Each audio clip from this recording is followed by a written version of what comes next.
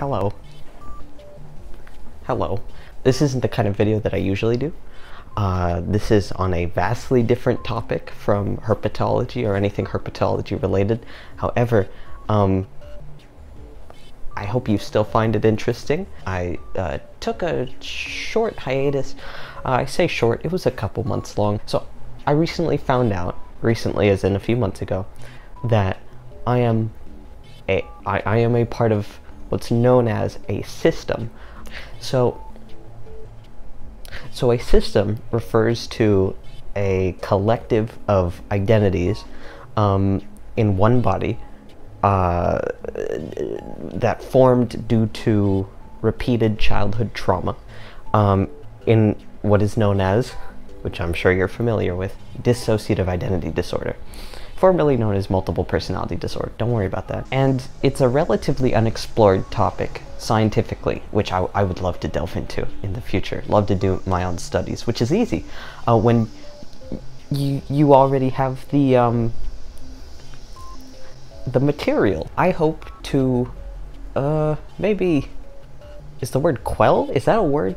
Uh, is it some potential uh, fears that you may have about it, um, but also to introduce the other system members that I have been growing accustomed to. And now in the title, I probably said uh, my alters. That's a I I will refrain from using that because they aren't mine. I don't own them.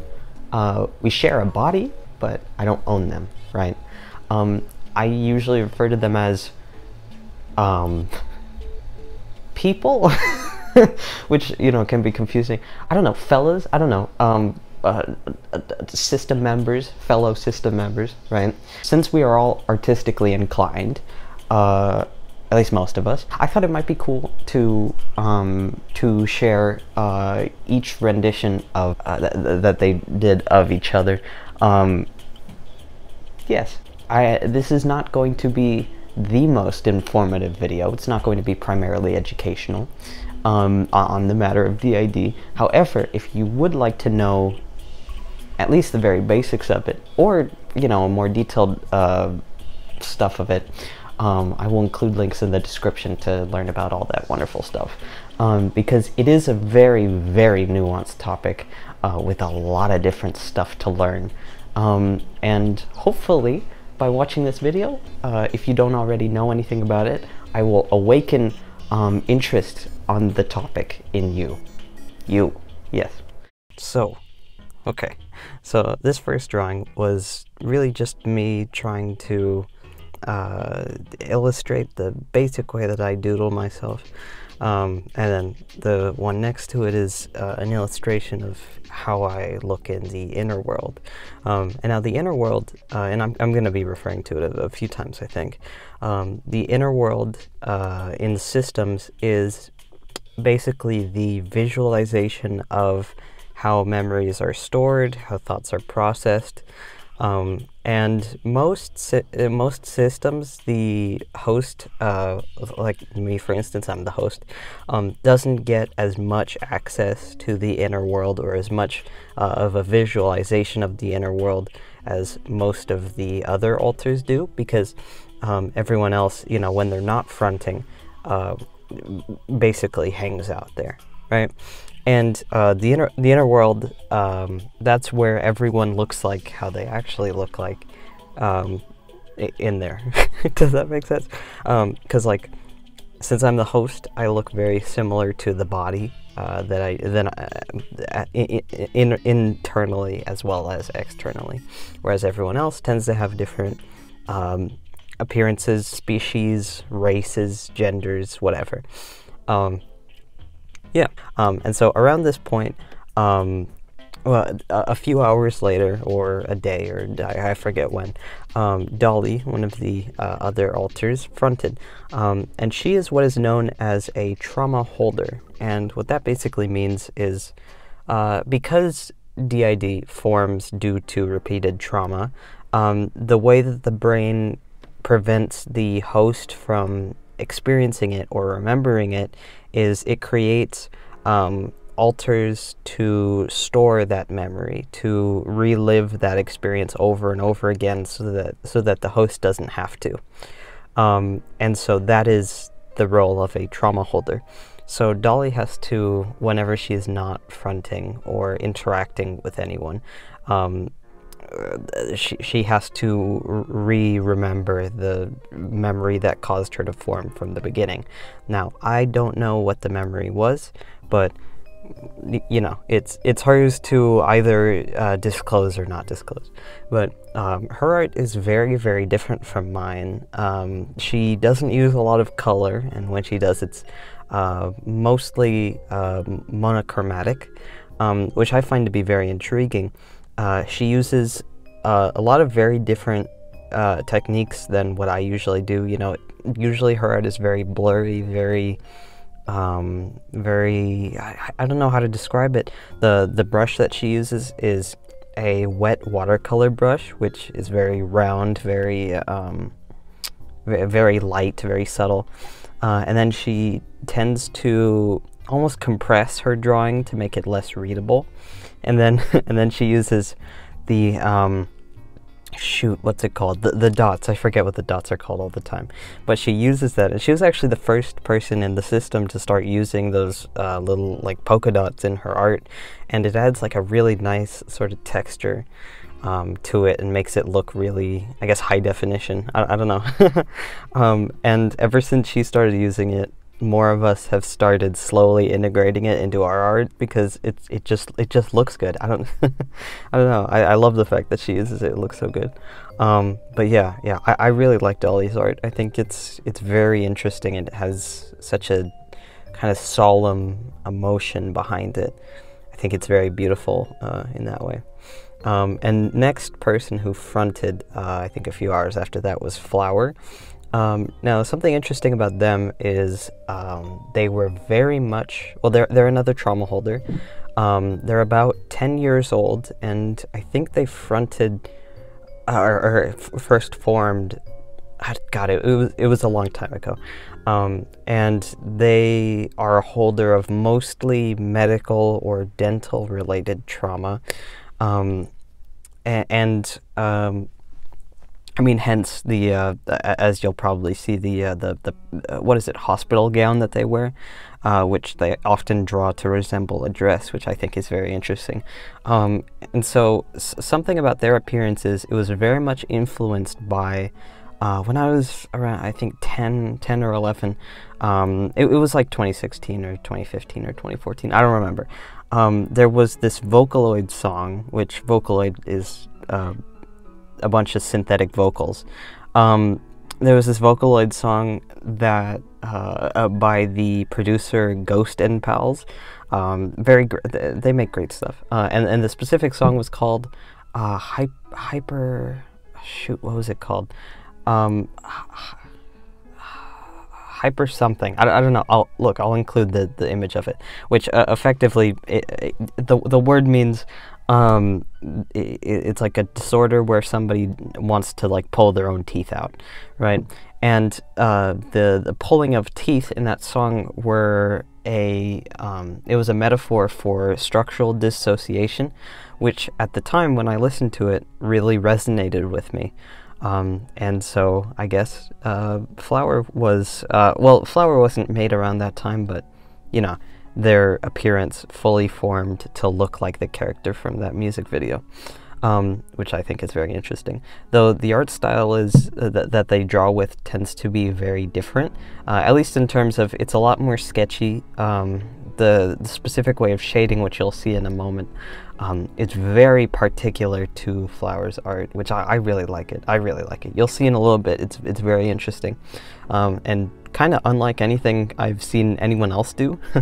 it's very sketchy, but in a way that's still kind of organized. I don't know. They're getting ready to do it in a little bit, but you know.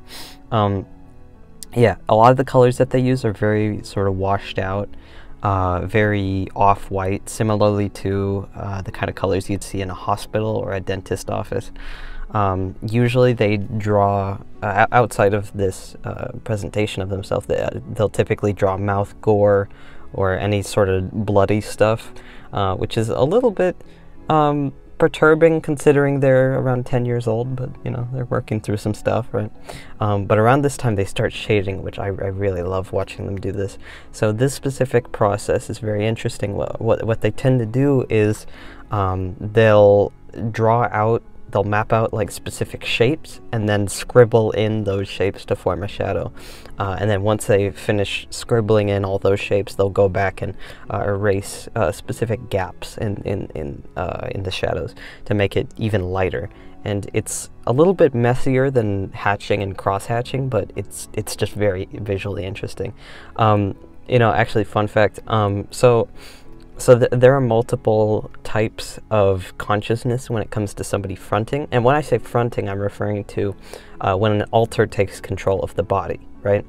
Um, and so uh, the, uh, some when one alter is fronting, and uh, when two alters are fronting at the same time. That is called co-consciousness, uh, because they are both aware of each other. Uh, they can conversate with each other both internally and externally by like talking out loud or listening to each other in in the in the brain, basically. Um, and so but there's also, if one person is fronting and another person is watching them front, that is called spectating, right? Um, one person is internally watching. You get it, you get it. Um, and so whenever Flower is drawing, especially shading, everyone tends to crowd around them, uh, spectating, which is very interesting because, well, because everyone really just likes watching watching them work through the process because it, it's just such a fascinating thing. Like, um, they have such a unique sort of way of going about art that I, I, I, find it very intriguing to watch, you know, and, and their specific color palettes are, are very cold and uh, very consistently just theirs, you know. I, I don't know how else to describe it.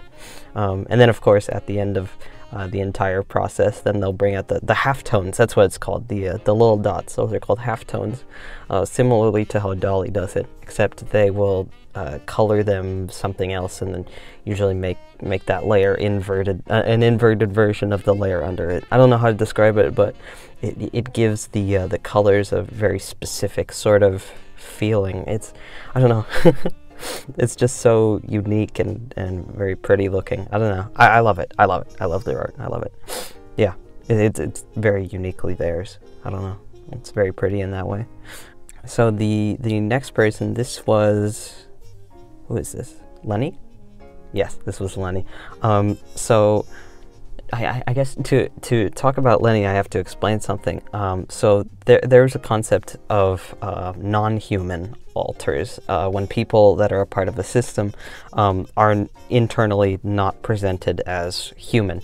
Um, they understand that the body is human, of course, uh, but they internally are not.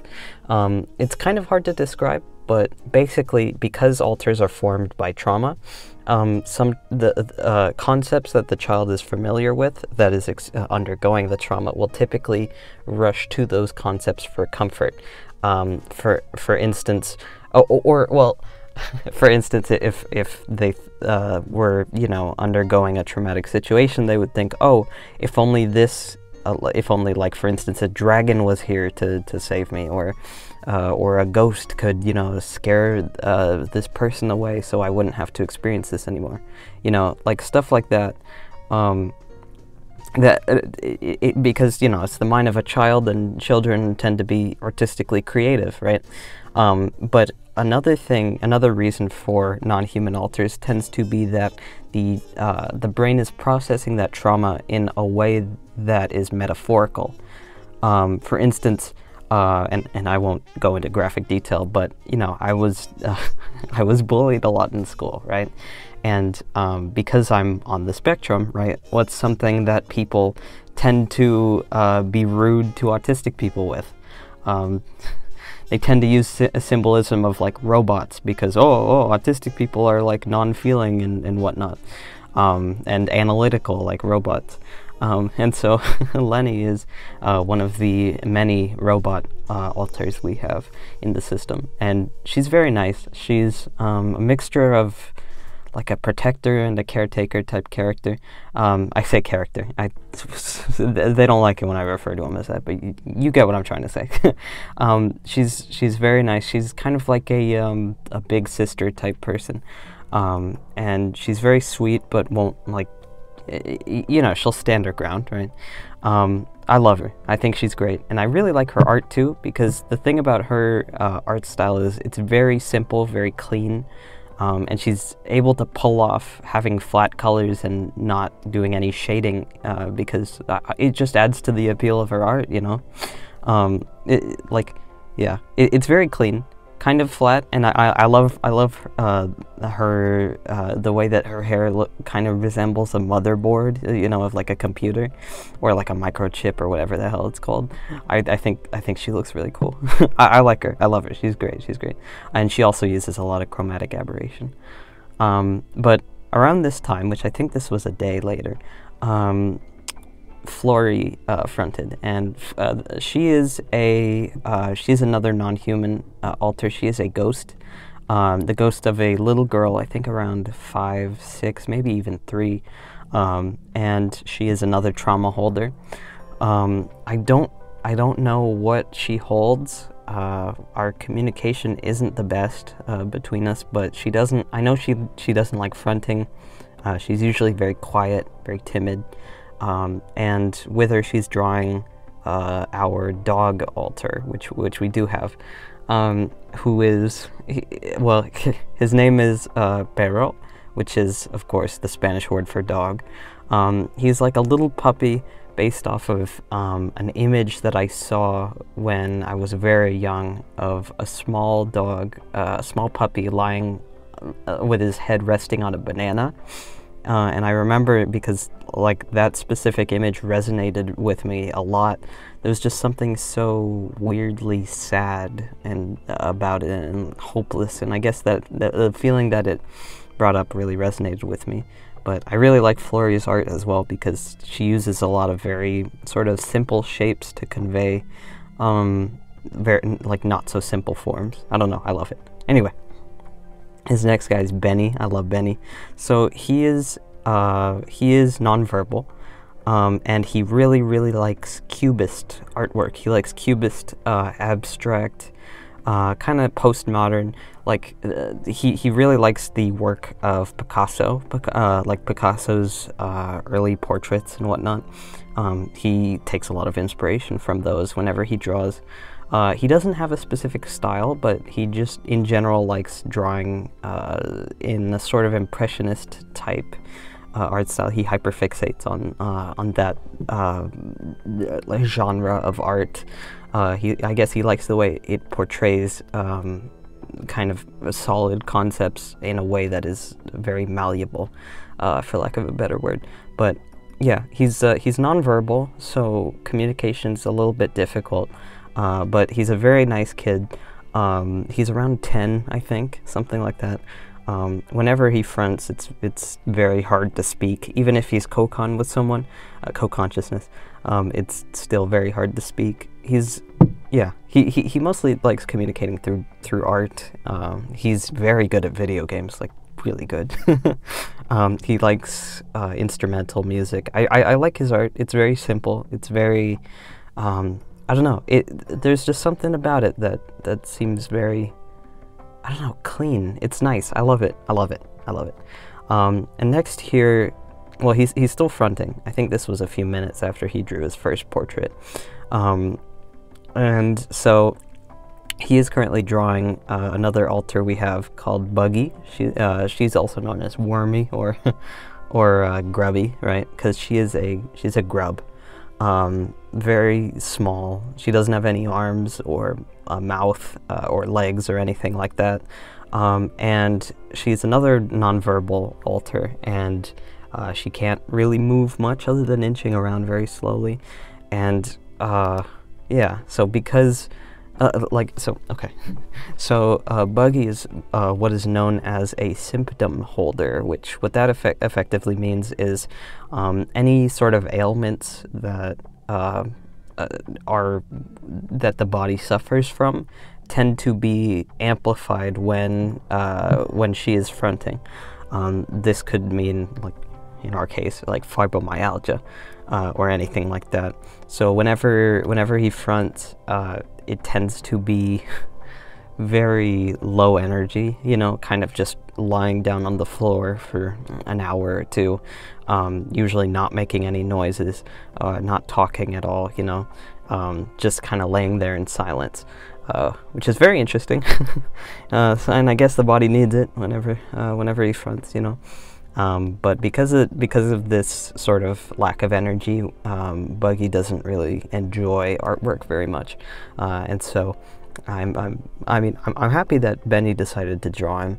Uh, despite this, I, I, guess their relationship is very close, though I don't know the specifics of it.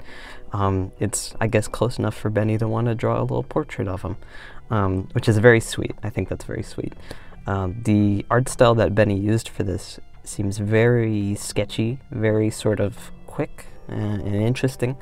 Um, it's, uh, I guess an interesting part of it is the fact that his shading was is very defined. You know, he, he doesn't really blend any of it. He just relies solely on colors and uh, and and like values, which I've never, I've, I've as Quinn, I, I've never uh, experimented with that before. You know, I always rely on blending and whatnot, and I think it's very interesting that that he used a, a style that is just so outside of my personal comfort zone.